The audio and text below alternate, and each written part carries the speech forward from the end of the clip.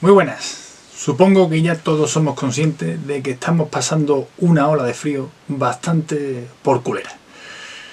Y personalmente a mí el frío me afecta muchísimo.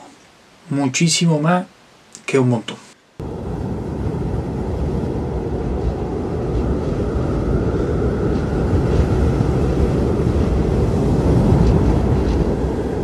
Y las dos últimas salidas en bici han sido un infierno.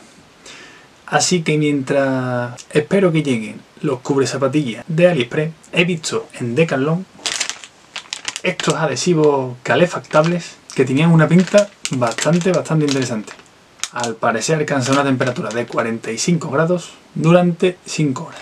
Pues me decidí a comprarlo y los probé la semana pasada. Es cierto que te lo pones encima del calcetín y notas una sensación de calor pero es una sensación que se va a la media hora, a 40 minutos.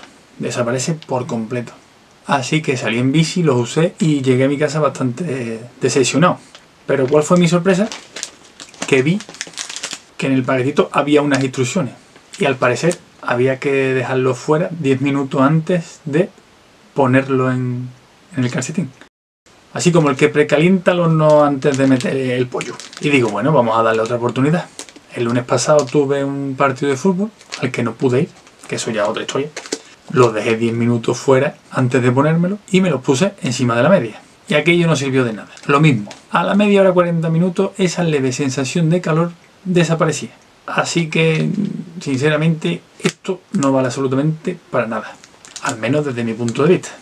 Y señores de Decathlon, y más especialmente a los de la marca Witze, habría que darle otra huertecita a esto porque tiene potencial, pero no hay por dónde cogerlo, vamos.